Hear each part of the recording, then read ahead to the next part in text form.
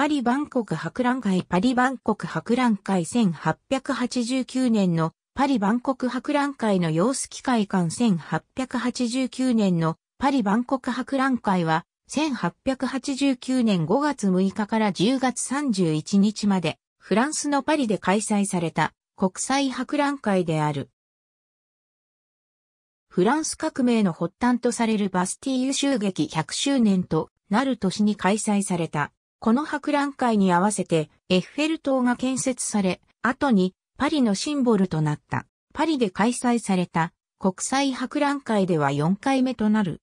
1889年のパリ万博の会場総面積は0.96キロ平方メートルで、シャンドマルス公園、トロカデロ広場、ケドルセ地区が会場となった。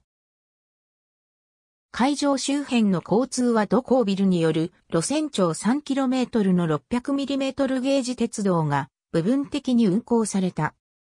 この鉄道はわずか6ヶ月の万博開催期間中に634万2446人の乗客を輸送したと言われている。また、この路線で使用された機関車車両の一部は後に、シュマンドフェールデュカルバドスでの運用が見られた。建設中のエッフェル塔本博覧会最大のシンボルとなったのはエッフェル塔であった。1889年に竣工したエッフェル塔は、会期中は入場アーチ門の役割を担った AGFL が設計したこの鉄塔は連鉄製であった。1889年のパリ万博は1867年の第2回パリ万国博覧会の会場であったシャンド、マルス公園に数々のパビリオンが建て増しされて開催された。エッフェル塔と同様にこの万博のために建造された注目すべき建築物が機械館である。設計者は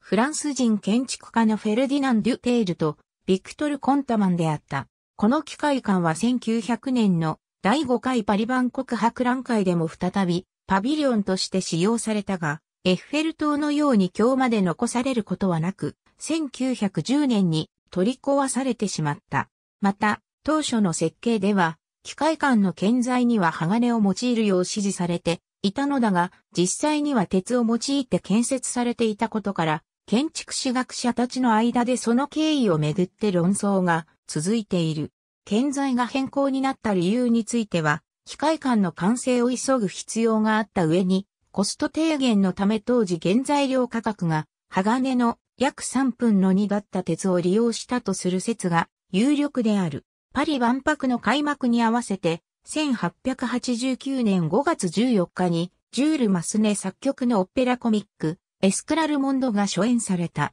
このオペラコミックは、開催期間中も50回以上も上演された。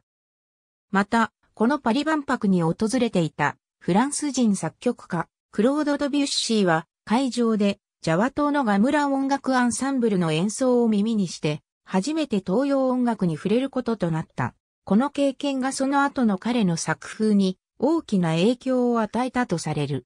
1889年のパリ万国博覧会では、オランダのビールメーカーハイネケンがグランプリを受賞した。日本から久保田ベイセンがパリ万博において金賞を受賞。ありがとうございます。